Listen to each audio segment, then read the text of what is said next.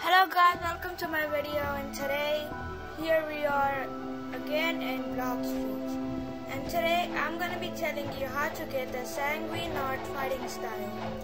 So um so let's get into the requirements. So the requirements are you will need um I also got I, guys I also got a dragon.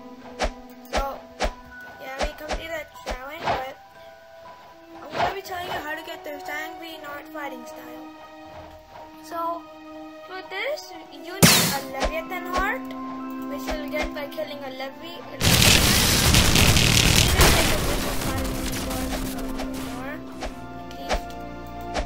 need at least five people for that, and you need like a beast hunter bow. So you need a Leviathan heart. You need a two dark fragments. You'll get from Fist of Darkness if you put if you spawn the black beard. I mean the dark beard. And you need um, 20 demonic wisp, which you'll get from the graveyard and the from the uh, from the NPC, like the ones above um, above the money, like the mummies.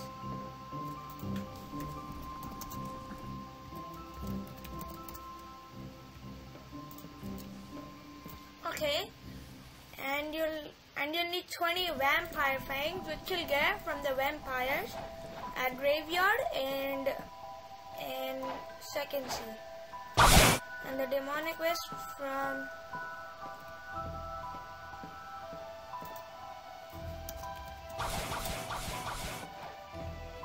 And um, the demonic wisp you'll get